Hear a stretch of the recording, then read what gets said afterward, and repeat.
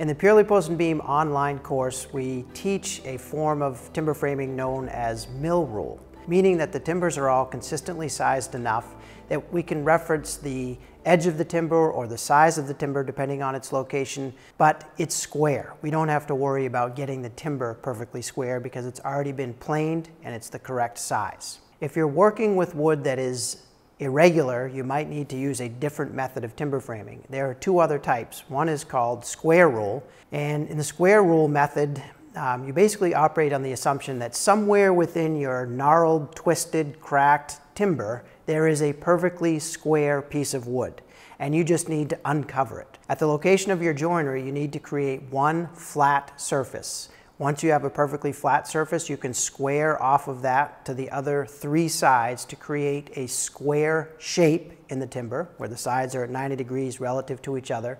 And then you can also modify its size. So for instance, if you're working with rough sawn lumber, you might end up with a post that's eight and a quarter by eight and three eighths.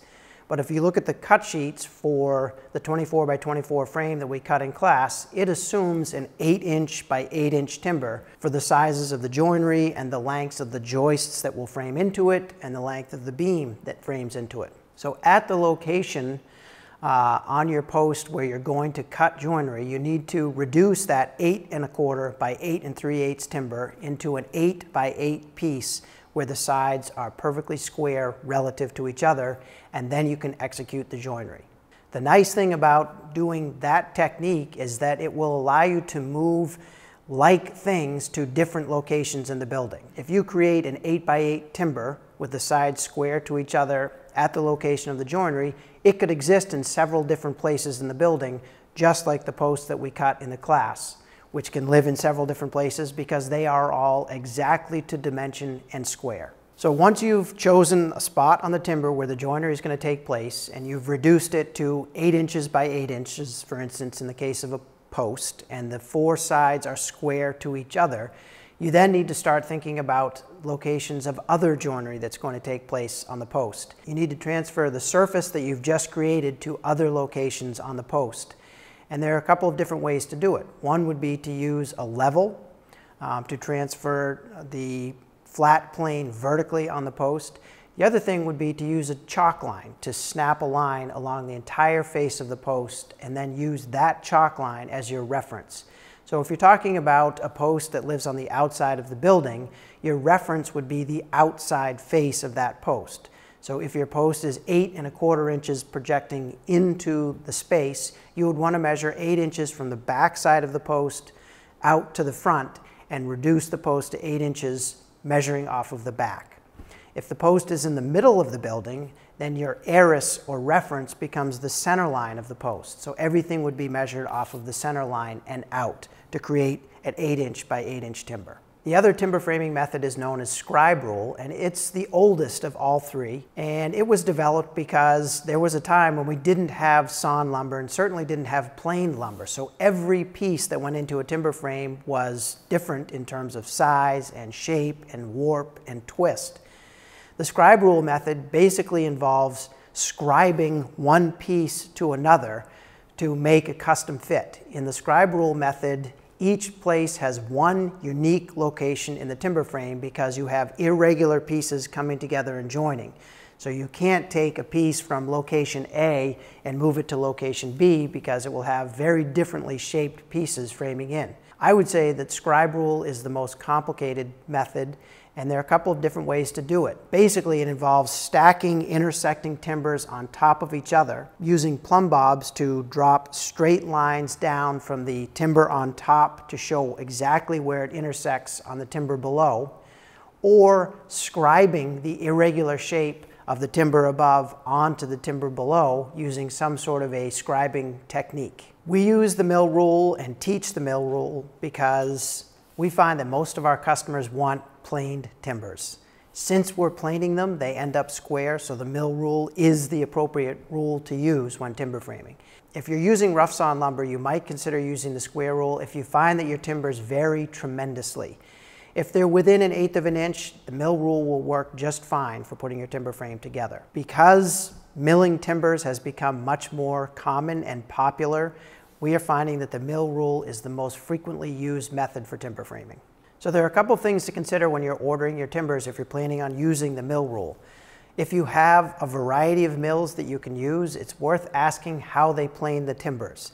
The best thing is a four-sided planer because it is the easiest way to get perfectly square timbers. If the mill has a one-sided planer, that means it will pass the timber through and plane one side, roll it and pass it through again.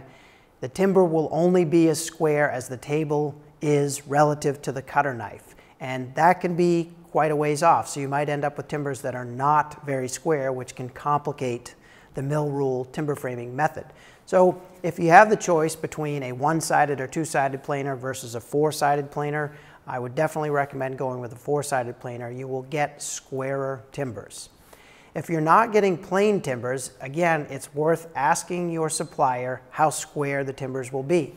Generally, we find that band-sawn timbers can have more variation than radially sawn or circular sawn timbers. The blade in a circular sawmill tends to deflect less than the blade in a bandsaw. So you might end up with timbers that are a little less square that way, but it's always worth asking. Anyone that is a reputable supplier will be able to accurately tell you how square their stuff is, and then you can make a decision based on that. Many of you are probably planning on milling your own timber, so there are a couple things to keep in mind there. The first thing is that a sharp blade will always tend to give you straight lines in the timber. As the blade gets duller, it has a harder time going through the wood, and obviously you're pushing the cutting head, and that bandsaw will tend to deviate from a straight line as it dulls. So while it might be painful to change the blade and keep buying blades or sharpening them, it's really worth it because it will make your cutting experience much more pleasant. The other thing is to just constantly check your setup to make sure that the carriage is flat relative to the bandsaw blade. Make sure you're not getting out of square as you're sawing. Again, a little bit of time spent in setup will save you a lot of time when it comes to cutting the joinery. The other thing you might consider doing is planing your own timber. We have had plenty of customers in the past who saw their own timber and then buy a power plane that you walk down the timber like Makita's AP12, their 12 inch planer. That allows you to get a nice smooth surface. The advantage to that is multifold. One, it's much easier to do your layout on a planed timber. It's also easier to accurately cut a planed timber.